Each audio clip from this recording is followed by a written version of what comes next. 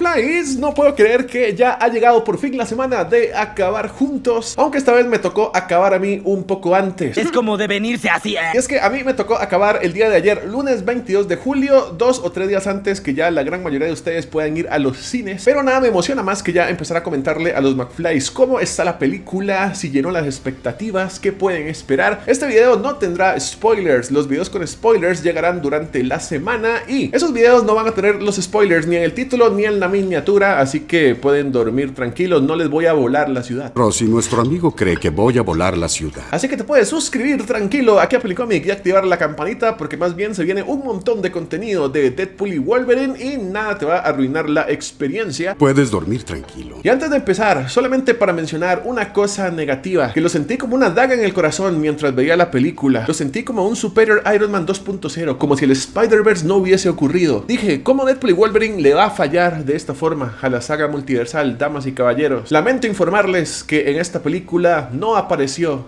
María Rambo. Sustos que dan gusto. Comenzando con una pregunta que muchos tendrán y es si el Jesús de Marvel cumple su objetivo de salvar Marvel, de salvar no solo el UCM, la sagrada línea del tiempo, sino también toda la saga del multiverso. En mi opinión, si logra posicionar el multiverso a otro nivel, creo que Deadpool y Wolverine le da clases al multiverso de la locura de cómo se hace un multiverso de la locura para todos los que salieron desesperados o decepcionados del multiverso de la locura, porque no hubo multiverso de la locura, solo hubo un universo de pintura y más María Rambo. Quítenla de mi vista. Esta película da cátedra de cómo es que hay que manejar el multiverso con un balance perfecto de fanservice, momentos impresionantes que te hagan gritar y de igual forma no perder el hilo narrativo de una buena historia para que en conjunto tengamos una gran película. Ya para explorar y explicar qué nos enseña toda esta película acerca del el multiverso, si es necesario hacerlo con spoilers. Así que esto vendrá durante los videos de la semana. Pero sin spoilers es importante recalcar que Deadpool y Wolverine sí intentó arreglar un montón de cosas que no se han hecho bien, un montón de conceptos que tal vez no se han terminado de entender durante la saga del multiverso. Se nota que los escritores de Deadpool y Wolverine se han estado esforzando para que la película ya no se vaya más por tangentes multiversales, sino que más bien ya podamos ver una especie de unificación de conceptos para que entender todo el multiverso de cara a Secret Wars sea un poco más sencillo. Pero volviendo a la pregunta, ¿el Jesús de Marvel salva el multiverso? Sí. Más bien no. Yo creo que salva el hype, pero respondiendo literalmente la pregunta, no estoy seguro de que Deadpool haya salvado el multiverso. De hecho, ya con spoilers vamos a explorar por qué es muy posible que Deadpool y Wolverine sean la causa principal de los mayores desastres que van a suceder en Secret Wars. En aspectos generales, las dos películas anteriores de Deadpool se han catalogado siempre por tener un ritmo muy frenético con constantes cambios de escenas, de situaciones, y me atrevo a decir que Deadpool y Wolverine es la película más loca de las tres, la que más tiene cortes, la que más tiene una edición así que te lleva de un momento a otro, de una línea del tiempo a otro, del pasado al futuro, de un universo a otro. De momento estás tranquilo en la casa de Deadpool, después pasa algo gigante, después vuelves a estar tranquilo, después vuelve a pasar algo gigante, y como que este ritmo no te deja despegarte de la silla, no puedes levantarte para ir al baño en ningún segundo porque definitivamente te vas a perder algo muy importante. Me cago. Esto hace que la edición de esta película sea una de las más atrapantes, como te digo, ni puedes ir al baño. Y eso de no ir al baño es solo para no perderle el hilo a la historia principal, pero si tú quieres captar todas las referencias que hay en la película, cada una de las cosas que aparecen por ahí sueltas en el vacío, cada personaje que aparece, cada cosa oculta, hay referencias al UCM, hay referencias al Foxverse, hay referencias a la vida personal de los actores, hay referencias a otras películas que no tienen absolutamente nada que ver con superhéroes, por lo cual también me emociona ya preparar el video de curiosidades y cosas que no viste. Va a estar muy complicado porque calculo que pueden ser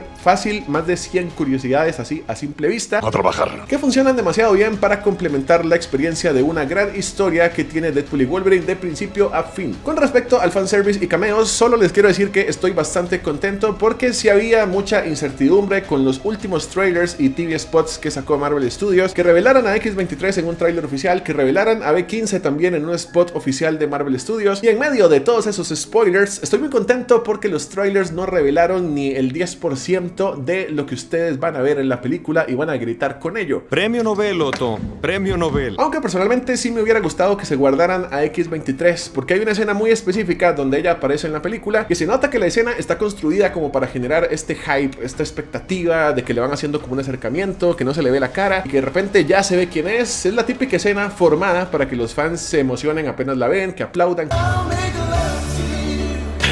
Y siento que justo en la escena de ella no hubo tanto de esta emoción porque justamente ya la gran mayoría sabían que X23 salía en la película por culpa del tráiler, cosa que no pasó con los demás cameos. Todos los demás cameos que no se revelan en los trailers sí consiguieron este efecto vibrante donde la gente aplaude, grita y no se esperaba lo que aparecía. Ni lo digas.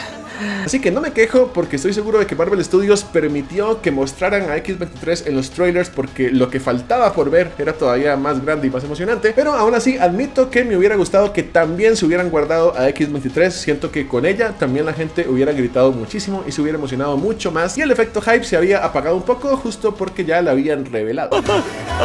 Y ahora al principio les hablaba de cómo Deadpool y Wolverine le dio un poco de cátedra a Doctor Strange de cómo se maneja un buen multiverso. Y hasta en este tema promocional dio cátedra porque yo les decía en el análisis del tráiler anterior que Doctor Strange había cometido el error de enseñar a Capitana Carter en un tráiler. Y cuando yo la vi aparecer en un spot oficial, justamente pensé, ah, si aparece Capitana Carter es porque, seguramente es porque lo que no hemos visto del multiverso de la locura, los cameos que faltan nos van a volar la cabeza. ¿Y cuál fue el cameo que tuvimos? Quítenla de mi vista. Por eso con Deadpool yo quería mantener mis expectativas bajas y no quería pensar lo mismo. No quería pensar, ah, como ya vimos a X23, quiere decir que faltan más cameos. Y me reservé mis expectativas, pero afortunadamente Deadpool y Wolverine no hizo lo mismo que Doctor Strange. Ellos sí fueron consecuentes y sí enseñaron a Laura, pero sí hay más sorpresas emocionantes en la película. A diferencia de Doctor Strange, que ensayaron a Capitana Carter, pero ya en la película prácticamente no había ninguna otra sorpresa. Solamente Reed Richards y ya hasta se había filtrado que lo mataban, así que toda la película se arruinó. Profundizando los personajes, creo que el agente Paradox es un agente bastante diferente a todos los demás personajes que hemos visto ya en la primera y segunda temporada de Loki. Tiene una personalidad un poco más extrovertida y también un poco más acorde al tono que tiene Deadpool y Wolverine en cuanto a la comedia. Y también me gustó bastante la forma en la que manejan la nueva ABT. Una de las cosas que me daban miedo es que viéramos incoherencias entre la ABT de Deadpool y Wolverine con respecto a la de Loki. Pero no, Deadpool y Wolverine está después de Loki y absolutamente todo lo que pasa dentro del ABT y la forma en la que se están manejando las cosas en este momento están perfectamente justificadas. Sobre esto habían dudas porque algunos se preguntaban por qué en las pantallas de Deadpool y Wolverine no se ve el árbol de Loki si se supone que esto es lo que debía verse ya en todas las pantallas, por qué se ve una línea del tiempo como la de antes. Pues hasta esos pequeños detalles quedan bien claros y explicados durante la película y si algo no entienden pues ahí yo ya se los explicaré después en videos con spoilers. Te lo agradezco, Peter. Cassandra Nova me parece una villanaza, es el típico equilibrio entre una villana intimidante, muy poderosa y con motivaciones interesantes. De pronto, acercándose al final, como que me tambalearon un poquito sus motivaciones, pero nada gravísimo, nada del otro mundo. En general, me parece una villana que está a la altura de los mejores villanos que ha presentado la saga multiversal, a la altura de Wanda, a la altura de aquel que permanece. Permanece. Y algo muy bueno es que en Deadpool y Wolverine no hay ningún villano que se parezca a MODOK, a pesar de que Deadpool y Wolverine podría darse las libertades de tener un personaje estúpido que siempre es el ridículo, o que lo tratan súper mal, o lo que sea, no existe. Realmente no hay un MODOK en Deadpool y Wolverine, y hasta todos los mutantes que son ahí como los esclavos de Cassandra. Así que en todo el tema de los antagonistas me voy bien contento con Cassandra Nova, estuvo de pelos. ¡De pelos!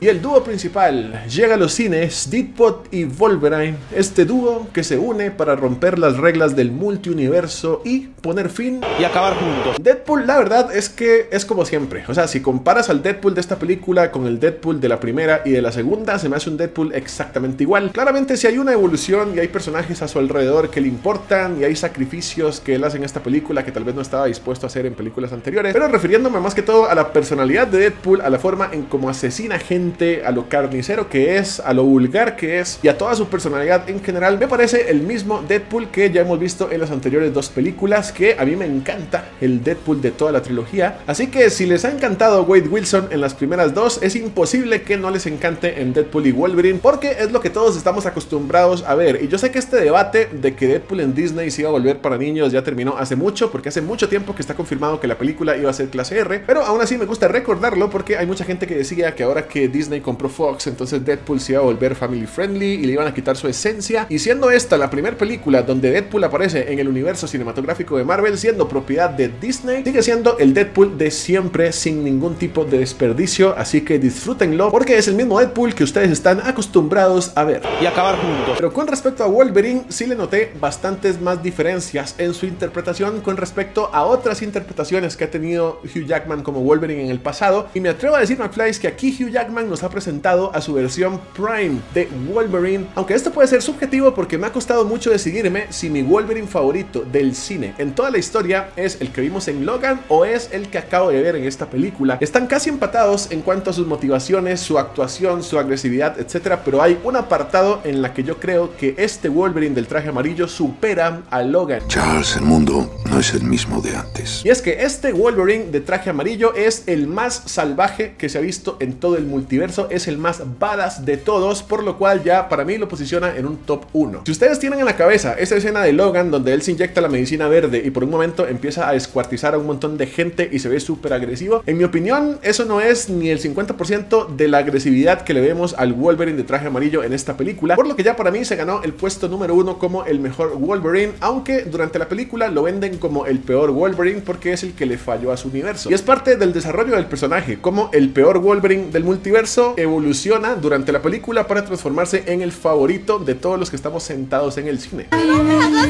eso!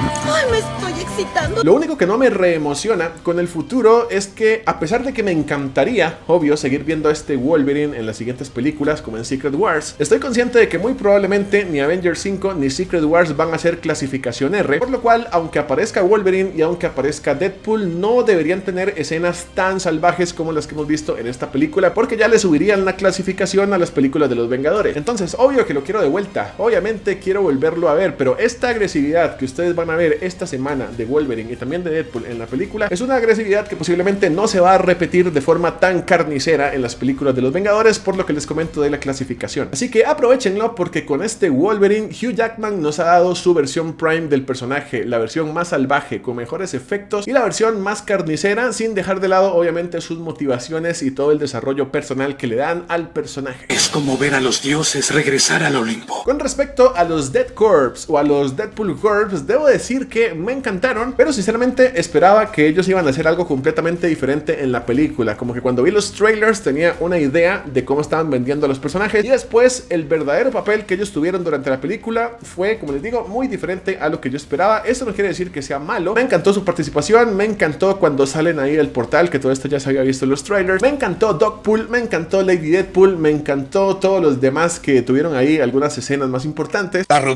Sí. Rico. Pero lo principal de estos personajes es saber a futuro qué va a pasar con ellos. Esto ya lo exploraremos en un video con spoilers. Que hablando de spoilers, también me encantaría hablar en este video de las cosas que tal vez no tienen tanto sentido dentro de la película. Con esto no me refiero tanto al guion o a que hayan incongruencias. Creo que incluso los guionazos son arreglados por Deadpool a través de un chiste. Entonces no me refiero a guionazos dentro de la película, me refiero a que Deadpool y Wolverine está situada en un momento muy complicado porque tiene que arreglar reglas multiversales del UCM y también tiene que arreglar un montón de desastre cronológico que se traía el Foxverse antes de que Disney lo comprara. Ok, em, esto es mucho para ti. Por lo que era casi imposible armar la película de Deadpool y Wolverine con todas las reglas establecidas y específicas sin que quedaran agujeros y cosas que tal vez no tienen tanto sentido. Todo eso que ya tiene que ver con las tierras, que ya tiene que ver con los personajes sorpresa de a qué universo pertenecen, que ya tiene que ver con incursiones, que tiene que ver con la ABT, con la nueva forma de operar de las cosas y que incluso tiene que ver con el final de la película, no se los puedo decir ahora, pero les puedo decir un teaser de que sí hay demasiado por explicar. Creo que la película se esfuerza en unificar todos los conceptos y en decir, vean, así es como funciona el multiverso realmente, y en decir,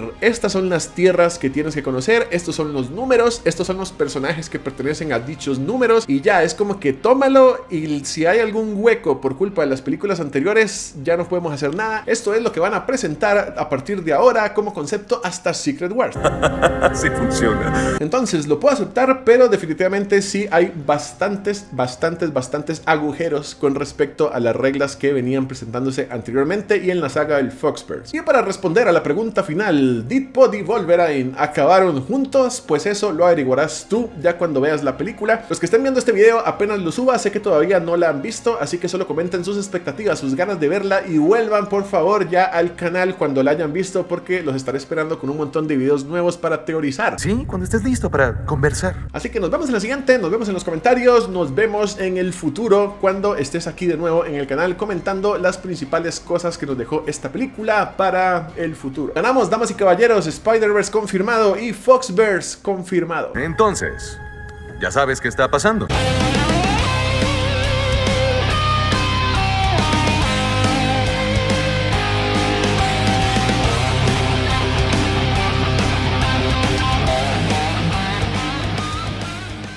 Ah, por cierto, en la postcréditos de este video les digo que la película tiene una escena postcréditos que es al final de todos los créditos, así que se pueden quedar hasta el final.